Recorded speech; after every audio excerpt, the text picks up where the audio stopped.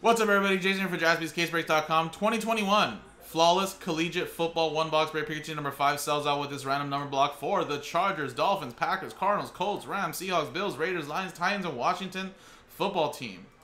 And again, you get a piece of all of these 12 teams for a fraction of the price and 10 spots in this format. Random number block from 0 through 9. Everybody gets a random number. And of course, we go by the left side of the first number, the left side of the serial number dash. That's your examples right there. Any one on ones go to spot one. Any redemptions go to spot zero.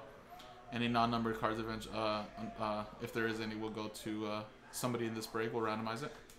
So here's the dice roller. Here's the customer names from Gail down to Mark, and zero through nine there. And there's the teams just to represent uh, all the teams in the break. Dice roll it, and we got ourselves a six and a three nine times. Good luck.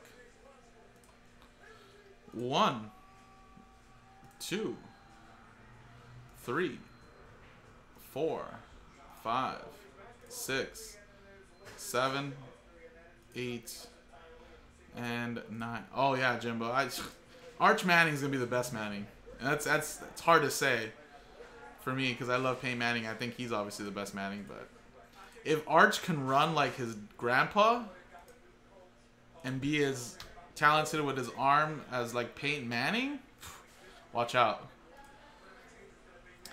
But of course, his last name is going to get him a lot of publicity. But I think it's motivation.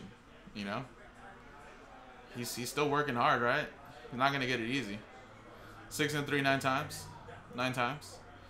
My thing is that are they going to treat him like they treated Peyton Manning if he doesn't go to Ole Miss? Like, are they going to like really just want to send death threats as they did for Peyton when he went to Tennessee?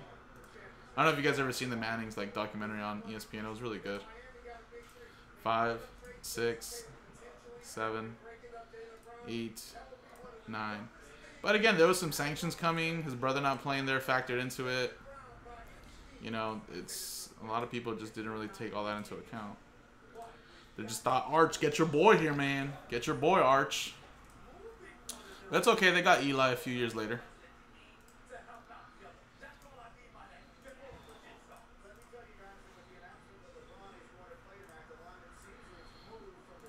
All right, so Tom, you have nine. Nicholas with three. Mark with eight and seven. Nicholas, any one of ones would be yours. Donald with four. Matthew, any uh, redemptions would be yours at zero. Paul with six. Matthew with five. And Gail with two. So there you go, guys. That was nine times. Coming up next is the break itself. Good luck, everybody.